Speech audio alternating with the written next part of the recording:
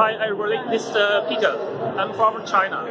I came to Bharuch for the meeting. And uh, today I'm very glad to be here. And uh, the whole construction is uh, very, very impressive.